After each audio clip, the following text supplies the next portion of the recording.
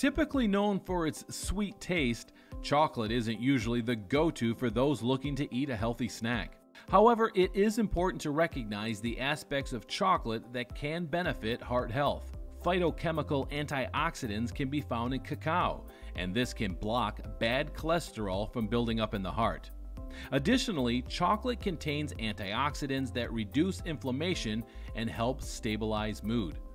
It's also essential to understand the differences between dark chocolate and milk chocolate. Chock full of sugar, milk chocolate can prove to be detrimental to health regardless of its cacao content.